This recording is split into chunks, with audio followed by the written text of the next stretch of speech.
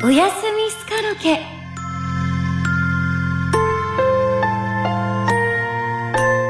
皆さん今日も一日お疲れ様でした。明日へののろしを上げるラジオの中の会社スカイロケットカンパニー秘書の浜崎美穂です。おやすみスカロケでは皆さんに安眠をお届けするそんな情報をお送りします。安眠といえば八代本部長週明けからこんなこと言ってたっけな。最近、例えば、街を歩いてる時の夢で、野良犬に追いかけられて噛まれたり、ジャングルにいる夢で毒蛇に巻きつかれて噛まれたり、ラジオの本番中の夢で秘書が出てきて噛まれたり、こんなんばっかりなんだけど、これってさ、夢占い的にはどうなのかな？いい夢なのかな？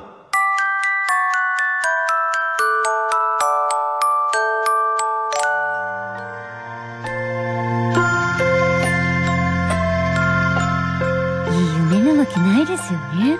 私が噛むってどんな夢見てるんでしょう。このように安眠できていない皆様に耳寄りな情報をお届けします。今日は睡眠の質を向上させる方法です。それがこちら。温かい飲み物で眠気を促す。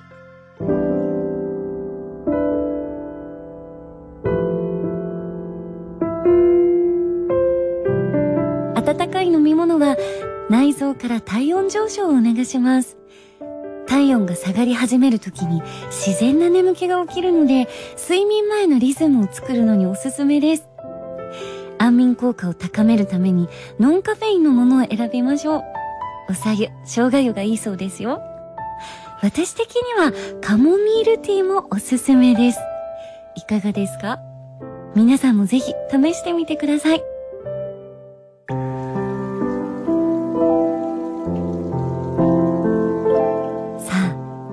すぐ明日です。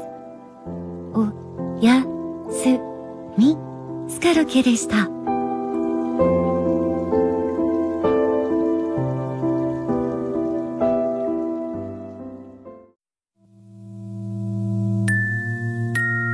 おやすみスカロケ。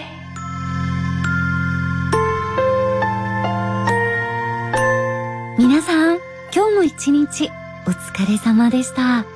明日へののろしを上げるラジオの中の会社、スカイロケットカンパニー秘書の浜崎美穂です。おやすみスカルケでは皆さんに安眠をお届けする、そんな情報をお送りします。そういえば、マンボウ八代本部長に今日こんなこと聞かれたな秘書あのさ、寝ている時に耳元でお経が聞こえるのって週にどれぐらいある？私ね、週3から4聞こえてくるんだけどさ、これっていうのは多いの？少ないの？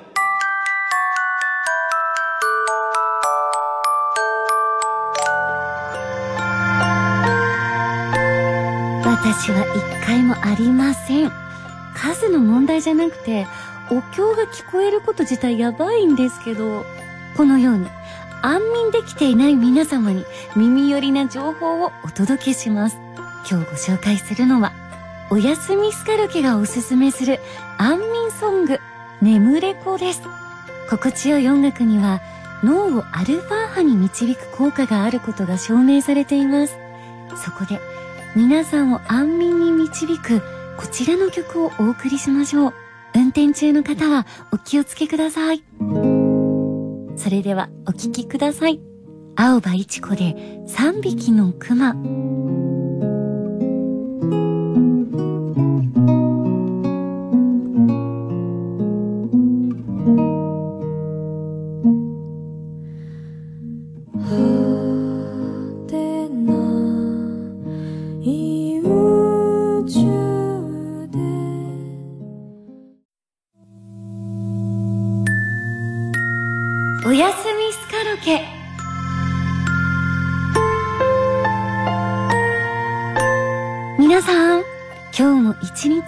お疲れ様でした。明日へののろしを上げるラジオの中の会社、スカイロケットカンパニー秘書の浜崎美穂です。おやすみスカルケでは皆さんに安眠をお届けする、そんな情報をお送りします。安眠といえば、今日マンボウヤシロ本部長にこんなこと言われたないいか秘書最近眠りについてなんかごちゃごちゃ言ってるけども、本当の眠りっていうのを俺が教えてやるよ。飯を腹パンパンに食ってぶっ倒れるように寝る。そして次の日、汗びっちょびちょで起きる。これが最高の睡眠だ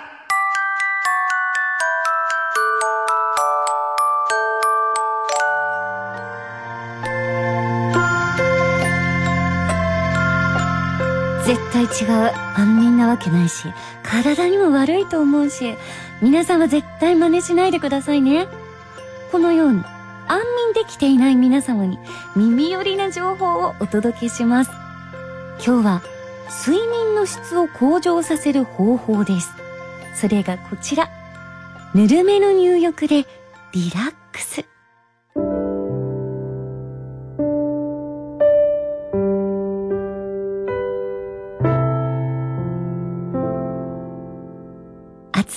湯も気持ちいいのですが、長く入ることは体の覚醒を誘い、就寝に必要な体温が下がり始める時に自然な眠気を誘う体温変化を得にくくなるとのこと。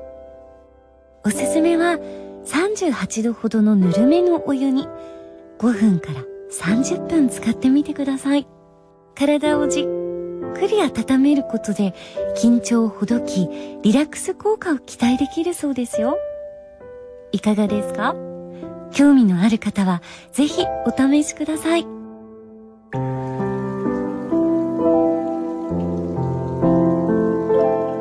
あ、もうすぐ明日です。お、や、す、み、スカルケでした。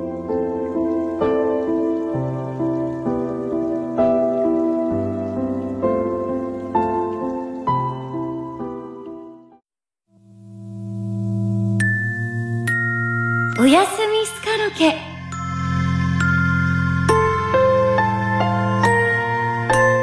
皆さん、今日も一日お疲れ様でした。明日へののろしを上げるラジオの中の会社、スカイラケットカンパニー秘書の浜崎美穂です。おやすみスカロケでは皆さんに安眠をお届けする、そんな情報をお送りします。そういえば今日、早めにスタジオに入ってたマンボウヤシロ本部長が寝てたんだけど、起きてこんなこと言ってたの？秘書さっきスタジオに黒い格好で大きな釜を構えた人いなかった？寝てる時に枕元に立ってた気がするんだけど。あれ、東京 FM の人？